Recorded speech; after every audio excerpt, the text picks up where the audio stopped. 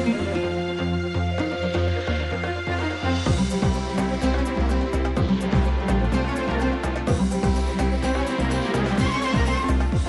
بن راشد يشهد افتتاح القمة الرابعة والثلاثين لقادة وزعماء دول مجلس التعاون لدول الخليج العربية بدولة الكويت. محمد بن راشد يكرم الفائزين بجائزة محمد بن راشد لدعم مشاريع الشباب.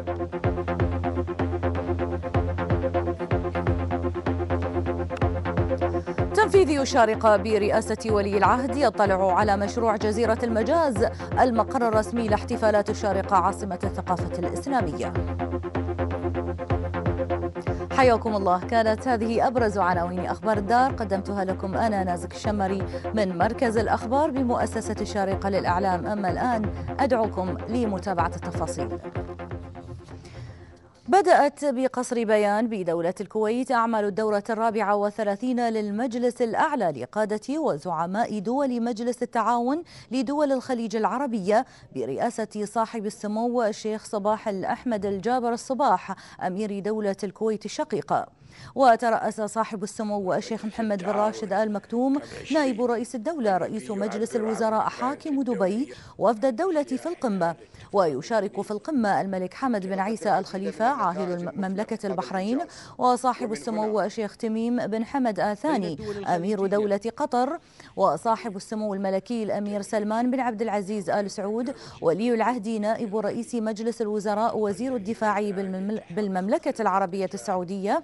وصاحب السمو السيد فهد بن محمود آل سعيد نائب رئيس الوزراء العماني لشؤون مجلس الوزراء.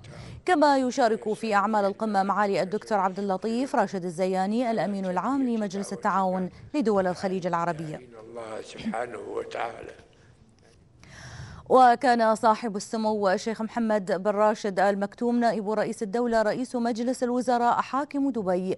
قد وصل والوفد المرافق لسموه إلى دولة الكويت للمشاركة في أعمال القمة الرابعة والثلاثين للمجلس الأعلى لمجلس التعاون لدول الخليج العربية هذا وقد كان صاحب السمو الشيخ صباح الأحمد الجابر الصباح أمير دولة الكويت الشقيقة في مقدمة مستقبل سموه في صالة التشريفات الأميرية. في مطار الكويت الدولي حيث هنأ سمو أمير الكويت صاحب السمو الشيخ محمد بن راشد المكتوم على سلامة الوصول متمنيا له والوفد المرافق طيب الإقامة بين أهله وفي بلده. لدولة الإمارات العربية المتحدة. وقبيل مغادرته إلى الكويت استقبل صاحب السمو الشيخ محمد بن راشد آل مكتوم نائب رئيس الدولة رئيس مجلس الوزراء حاكم دبي في فندق ميدان في منطقة ند الشبا في دبي. استقبل الرئيس قربان قولي بردي محمدوف رئيس جمهورية تركمانستان والوفد المرافق حيث تناول الحديث بين سموه والرئيس الضيف سبل توسيع آفاق التعاون الاقتصادي والاستثماري والسياحي بين البلدين. ورحب صاحب السمو الشيخ محمد بن راشد آل مكتوم بتوقيع عدد من الاتفاقيات ومذكرات التفاهم بين الدولتين كما أشاد الرئيس محمدوف بالنهضة المباركة التي تشهدها دولة الإمارات. حضر اللقاء سمو الشيخ حمدان بن محمد بن راشد آل مكتوم ولي عهد دبي وسمو الشيخ حمدان بن راشد آل مكتوم نائب حاكم دبي وزير المالية وسمو الشيخ مكتوم بن محمد بن راشد آل مكتوم نائب حاكم دبي وسمو الشيخ أحمد بن سعيد آل مكتوم رئيس هيئة دبي للطيران الرئيس الأعلى لمجموعة طيران الإمارات ومعالي السلطان بن سعيد المنصوري وزير الاقتصاد ومعالي عبد الرحمن بن محمد العويس. وزير الصحة ومعالي عبيد بن حميد الطاير وزير الدولة للشؤون المالية ومعالي محمد إبراهيم الشيباني مدير عام ديوان صاحب السمو حاكم دبي ومعالي الفريق ضاحي خلفان تميم نائب رئيس الشرطة والأمن العام في دبي.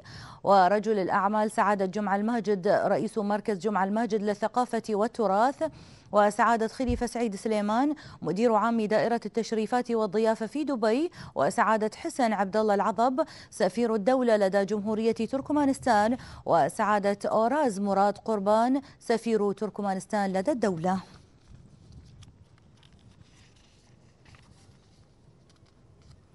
وفي سياق منفصل رعى صاحب السمو الشيخ محمد بن راشد آل مكتوم نائب رئيس الدولة رئيس مجلس الوزراء حاكم دبي بحضور سمو الشيخ حمدان بن محمد بن راشد آل مكتوم ولي عهد دبي رعى حفل تكريم الفائزين بجائزة محمد بن راشد لدعم مشاريع الشباب. في دورتها الثامنة التي تنظمها مؤسسة محمد بن راشد لتنمية المشاريع الصغيرة والمتوسطة.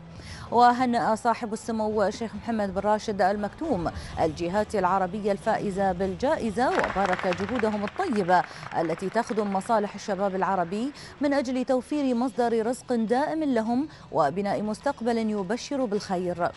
وكرم صاحب السمو راعي الحفل الجهات الداعمة لريادة الأعمال في الوطن العربي والتي شملت فئة أفضل مبادرة لدعم ريادة الأعمال وأفضل بنك داعم للشركات الصغيرة والمتوسطة وأفضل صندوق تنمية لدعم ريادة الأعمال وأفضل مؤسسة تعليم عال داعمة لريادة الأعمال بالإضافة إلى أفضل مبادرة مسؤولية مجتمعية لدعم ريادة الأعمال وأفضل مبادرة مرشدي الأعمال. حضر الحفل الذي أقيم في مركز دبي التجاري العالمي سمو الشيخ أحمد بن سعيد آل مكتوم رئيس هيئة دبي للطيران الرئيس الأعلى لمجموعة طيران الإمارات ومعالي محمد إبراهيم الشيباني مدير عام ديوان صاحب السمو حاكم دبي ومعالي الفريق ضاحي خلفان تميم نائب رئيس الشرطة والأمن العام في دبي. وسعادة خليفة سعيد سليمان مدير عام دائرة التشريفات والضيافة في دبي وسعادة سامي ضاعن الجمزي مدير عام دائرة التنمية الاقتصادية في دبي. إلى العاصمة أبو ظبي حيث استقبل الفريق أول سمو الشيخ محمد بن زايد آل نهيان ولي عهد أبو ظبي نائب القائد الأعلى للقوات المسلحة كيم كوان جين وزير دفاع جمهورية كوريا الجنوبية الذي يزور البلاد حاليا. ورحب سمو ولي عهد أبو ظبي بالوزير الكوري وبحث معه العلاقات الثنائية بين دولة الإمارات العربية المتحدة وجمهورية كوريا الجنوبية وسبل دعمها وتطويرها في ظل ما يربط البلدين بروابط صداقة متميزة. وتناول اللقاء استعراض أوجه التعاون بين البلدين في الشؤون الدفاعية خاصة فيما يتعلق بمجال بمجالات آليات التنسيق والتعاون المشترك والبرامج التدريبية. وإلى الإمارة الباسمة وبرئاسة سمو الشيخ سلطان بن محمد بن سلطان القاسمي ولي العهد نائب حاكم الشارقة رئيس المجلس التنفيذي. عقد المجلس التنفيذي لإمارة الشارقة اجتماعه الأسبوعي بمكتب سمو الحاكم واطلع على عدد من المقترحات التي تقدم بها السادة أعضاء المجلس لتطوير العمل في الدوائر والمؤسسات الحكومية المحلية معتمدا بعضا منها وموصيا بدراسة البعض الآخر باستفاضة. الرياضة تمهيدا للاعتماد. اطلع المجلس التنفيذي لإمارة الشارقة في اجتماعه الأسبوعي الذي ترأسه سمو الشيخ سلطان بن محمد بن سلطان القاسمي ولي العهد نائب حاكم الشارقة رئيس المجلس وحضره سمو الشيخ عبد الله بن سالم القاسمي نائب حاكم الشارقة نائب رئيس المجلس. على التقرير المقدم من الشيخ سلطان بن أحمد القاسمي رئيس مؤسسة الشارقة للإعلام حول جولة الشارقة الترويجية في الولايات المتحدة الأمريكية والتي شاركت فيها 21 جهة مثلت عددا من الدوائر الحكومية ووسائل الإعلام المختلفة وشركات القطاع الخاص بالإمارة. وأشاد المجلس بالدراسة التي قدمها مركز الشارقة الإعلامي موجها المركز بالتنسيق مع الأمانة العامة للمجلس والجهات الحكومية المعنية بوضع مخرجات الجولة موضع التنفيذ. وفي جديد الاجتماع اعتمد المجلس التنفيذي مذكرة التفاهم المزمع عقدها بين دائرة شؤون الضواحي والقرى ودائرة الخدمات الاجتماعية والتي أوضح سعادة خميس بن سالم السويدي رئيس دائرة شؤون الضواحي والقرى إنها تهدف إلى تعزيز التعاون وتعود بالمنفعة المتبادلة على الطرفين بما يخدم الصالح العام. فيما أطلع سعادة طارق سلطان بن خادم رئيس دائرة الموارد البشرية المجلس على مقترحات لتنفيذ التوجيهات السامية لصاحب السمو حاكم الشرقة بتعديل أوضاع أبناء المواطنات ليكون مساويا للمواطنين. ليطرح بعدها سعادة المهندس صلاح بن بطن مهيري رئيس دائرة التخطيط والمساحة الدراسة المعدة حول استعمالات الأراضي بمنطقة الصناعية الرابعة مقدما عددا من المقترحات والتوصيات التي من شأنها معالجة الوضع الراهن. وقد اعتمد المجلس الدراسة ووجه الدائرة بوضع التوصيات موضع التنفيذ. ثم استمع المجلس التنفيذي لشرح من سعادة ناصر خميس النقبي رئيس دائرة شؤون البلديات والزراعة بشأن طلب بلدية خرفكان تسوية وضبط المناسيب بالمدينة حيث وجه المجلس دائرة الأشغال العامة بعمل دراسة وافية حول المشروع بالتنسيق مع الجهات المعنية. وبعد أن اطلع المجلس على مقترح استعرضه سعادة المستشار سلطان علي بن بطل المهيري أمين عام المجلس التنفيذي رئيس لجنة الإشراف على مراكز فحص المركبات الخفيفة في إمارة الشارقة حول تعميم تجربة الخصخصة في خدمة الفحص الفني للمركبات الثقيلة. وافق المجلس عليه ووجه أمانته العامة بمراجعة العقد وتفاصيله مع شركة الشارقة لإدارة الأصول في دائرة المالية المركزية. وفي سياق ما تضمنه جدول الأعمال بارك المجلس اعتماد صاحب السمو حاكم الشارقة لشعار الهوية الترويجية للشارقة عاصمة الثقافة الإسلامية لعام 2014 مشيدا بحفل إطلاق الشعار. كما اطلع المجلس على مشروع جزيرة المجاز الذي يشرف عليه مركز الشارقة الإعلامي ليكون المقر الرسمي لاحتفالات الشارقة بهذه المناسبة. وقد أعلن الشيخ سلطان بن أحمد القاسمي في ختام الجلسة عن حفل تكريم الفائزين بجائزة الشارقة للاتصال الحكومي مقدما الدعوة للسادة رئيس وأعضاء المجلس لحضور الحفل الذي ينظمه مركز الشارقة الإعلامي في تمام الثامنة من مساء يوم الأحد الموافق الخامس عشر من ديسمبر الجاري بقاعة الجواهر في إمارة الشارقة في مدينة العين استقبل سمو الشيخ طحنون بن محمد النهيان ممثل حاكم أبو ظبي في المنطقة الشرقية في مكتبه بديوان سموه. استقبل سعادة أحمد يوسف محمد الصديق سفير جمهورية السودان لدى الدولة الذي قدم للسلام على سموه. وتبادل سموه مع سعادة السفير الأحاديث حول علاقات التعاون والأخوة بين البلدين الشقيقين مرحبا به ومتمنيا له التوفيق والسداد في مهامه بالدولة. حضر المقابلة الشيخ هزاع بن طحنون النهيان وكيل ديوان ممثل الحاكم في المنطقة الشرقية وعدد من المسؤولين. وعودة إلى الشارقة حيث تستمر الاستعدادات الحثيثة لانطلاق واحد من أكبر المهرجانات السياحية في المنطقة مهرجان الشارقة المائي الذي يقام في ديسمبر من كل عام. هذا وقد تفقدت عدسة أخبار الدار استعدادات هيئة الإنماء التجاري والسياحي بالشارقة الجهة المنظمة للمهرجان الذي يعتبر احتفالا تراثيا يعكس اهتمام الإمارة بالثقافة والتاريخ والحياة البحرية. وسيشمل المهرجان فعاليات متنوعة وينتهي برنامج المهرجان بأكبر حدث رياضي تستضيفه الشارقة كل عام وهو جائزة الشارقة الكبرى الذي يتضمن الجولة الختامية. لسباقات الزوارق السريعة الفورمولا واحد.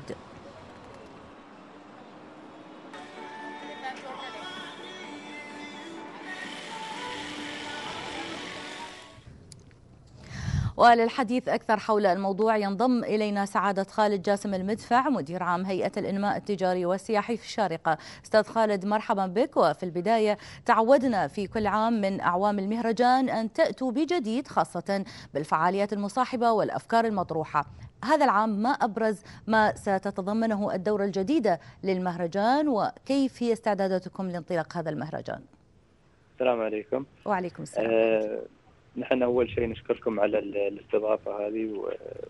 وإن شاء الله مهرجان الشارق المائي بينطلق إن شاء الله بكرة إن شاء الله يوم الأربعاء بيكون افتتاح مهرجان الشارق المائي إن شاء الله الرسمي ومهرجان الشارقه المائي السنة في فعاليات وأنشطة جديدة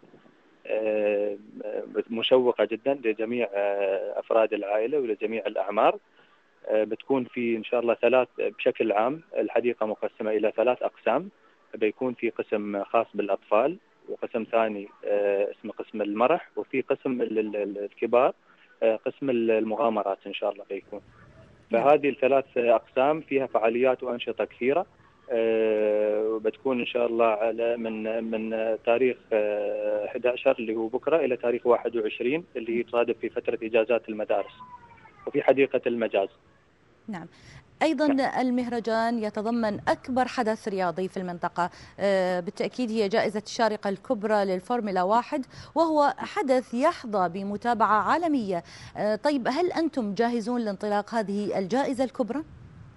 إن شاء الله نحن دائما جاهزين وهذه السنة ال 14 اللي يكون فيها السباق ينعقد السباق هذا في إمارة الشارقه في بحيرة خالد بالتحديد. نعم. وبيكون السباق تاريخ 12 و13 من شهر ديسمبر الجاري. آه، اللي بيحدد فيه إن شاء الله السباق هذا بطل العالم لسباقات الزوارق السريعة الفورمولا واحد آه، لسنة 2013 ونحن طبعا كلنا متشوقين وننتظر آه، التحدي الكبير هذا اللي بيكون في بحيرة خالد إن شاء الله على يوم الخميس والجمعة إن شاء الله. آه، وننتظر نشوف النتائج ونشوف الفايز إن شاء الله اللي بيتوج فيه فايز السباق في المركز الأول والثاني والثالث في إمارة الشارقة. نعم كل التوفيق لكم في جهودكم الحثيثة. سعادة خالد جاسم المدفع مدير عام هيئة الإنماء التجاري والسياحي في الشارقة. شكرا لكم. شكرا, شكرا. أخبار الدار متواصلة وتتابعون بعد فاصل قصير. برنامج زايد للإسكان ينظم ملتقى الشركاء لتوزيع القروض والمنح والمساعدات السكنية رفعا للمستوى المعيشي للمواطنين.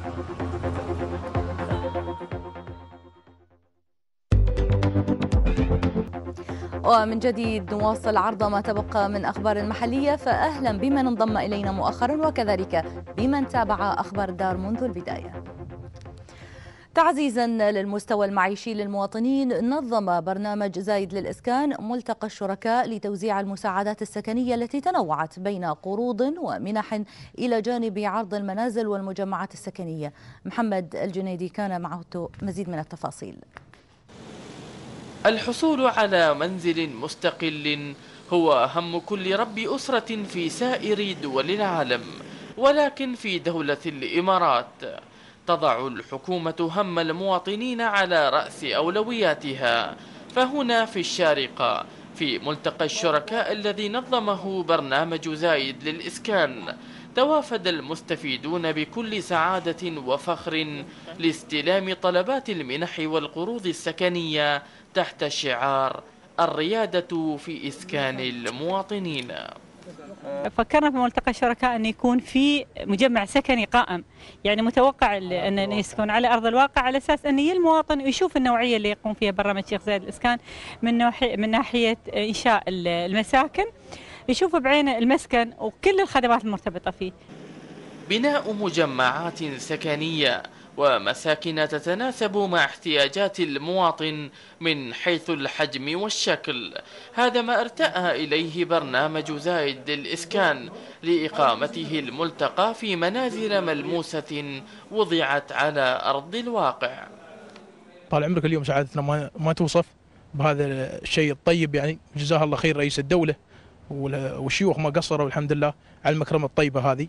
وهذا شيء طال عمرك يفرح الجميع يعني. من صغير وكبير. والحمد لله جزاهم الله خير. يوم يوفرون والأمن والأمان. هذه السعادة التي ترتسم على وجوه المستفيدين من البرنامج تؤكد رضاهم وامتنانهم لبرنامج زايد للإسكان التي تسعى من خلال إقامتها هذه التصاميم لتوفير المال والجهد في ظل الغلاء المعيشي. بيت العمر لطالما كان حلما يراود العديد ولكنه أصبح على أرض الواقع وذلك بفضل قيادتنا الرشيدة وجهود برنامج زايد للإسكان.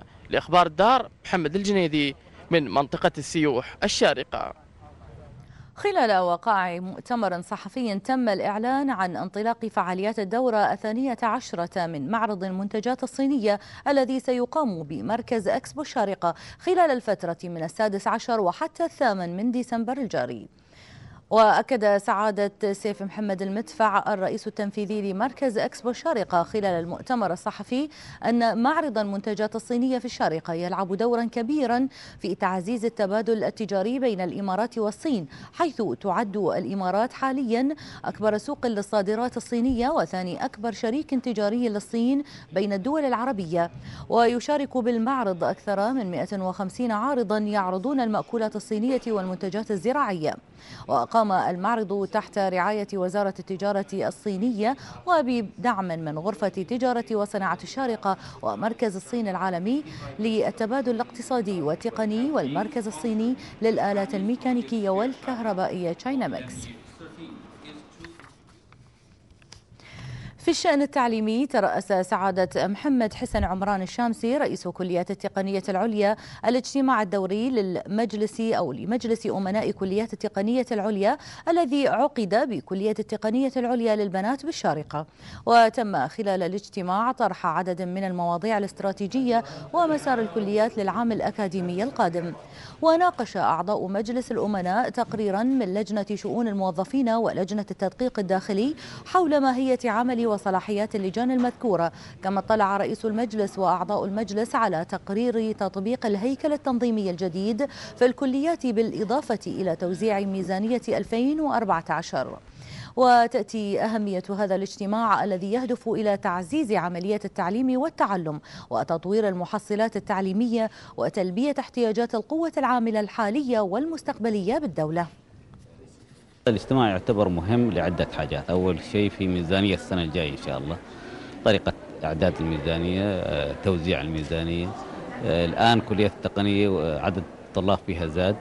حوالي أكثر عن عشرين ألف طالب. فلذلك لازم نعد لهم كل الأشياء المواد التعليمية المدرسين ال ال كل الحاجات اللي يحتاجوا لها إن شاء الله في هذا العام راح نشهد تشهد كليات التقنية دفعة كبيرة جدا في موضوع التوطين سواء في في المستوى الإداري في كل مجالات الإدارة وأيضا في نفس الوقت مستوى التعليم. مجلس الإدارة حدد أنه في الأمور الإدارية مع أكتوبر 2014 إن شاء الله نوصل 30% مواطنين. من نسبة بدأناها نسبة قليلة جدا. ونأمل إن شاء الله مع أكتوبر 2015 نوصل إلى 50% فحاطين أهداف في كل المجالات.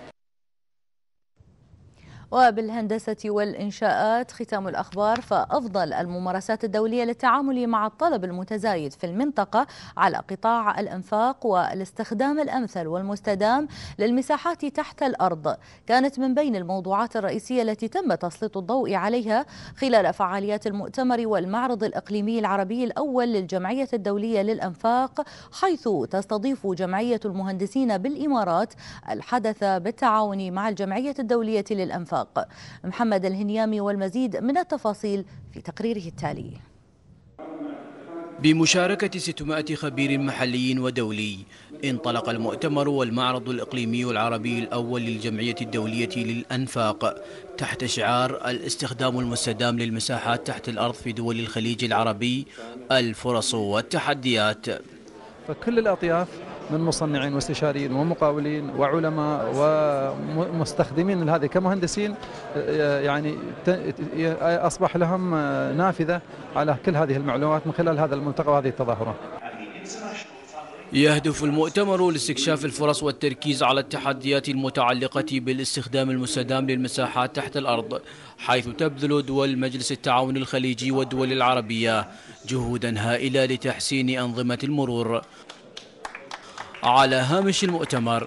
افتتح معرض مصاحب ضم أكثر من خمسين منظمة محلية ودولية. تعرض منتجاتها وخدماتها في مجال الاستخدام المستدام للمساحات تحت الأرض. الدولة تسعى لاستضافة المؤتمر العالمي في 2018 اللي بيضم في حدود ال 5000 عالم وخبير. وهذا أيضا يعني ثقة العالم بدولة الإمارات وبالاستقرار اللي فيها والنمو اللي فيها يدفعهم أيضا للمشاركة في مثل هذه التظاهرات. تكريم الشخصيات المساهمة لتنظيم وإنجاح هذا المؤتمر. كان شهادة من القائمين على المؤتمر لهؤلاء لدورهم الفعال. عرفان الجميل لمن قدموا وساهموا في تقديم آه، الكثير في هذا المجال. أتصور من الأشياء المهمة آه، أدبيا وأخلاقيا أن نقول لهم شكرا يعني بعد هذه الجهود وهذا الإثراء اللي آه، كانوا هم سبب فيه. المؤتمر سيسلط الضوء على إدارة المخاطر في حفر الأنفاق في المناطق الحضرية. من خلال عرض مترو كوبنهاجن كنموذج لأفضل الممارسات في هذا المجال والكثير من المواضيع ذات الصلة. مؤتمر فتح آفاقا جديدة أمام المعنيين بهذا القطاع لتؤكد دولة الإمارات العربية المتحدة مرة أخرى ريادتها بكافة المجالات والقطاعات. لأخبار الدار محمد الهنيامي. وختام أخبار الدار شكرا لكرم المتابعة ولم يتبقى لدينا غير التذكير الأخير بأبرز وأهم العناوين. محمد بن راشد يشهد افتتاح القمة الرابعة والثلاثين لقادة وزعماء دول مجلس التعاون لدول الخليج العربية بدولة الكويت. محمد بن راشد يكرم الفائزين بجائزة محمد بن راشد لدعم مشاريع الشباب.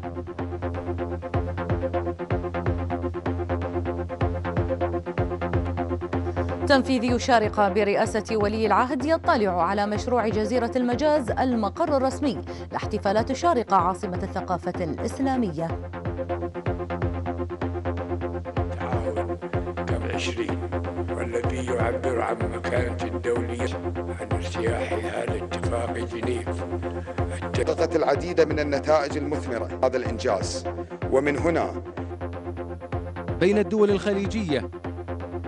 جنيف. التمهيدي حول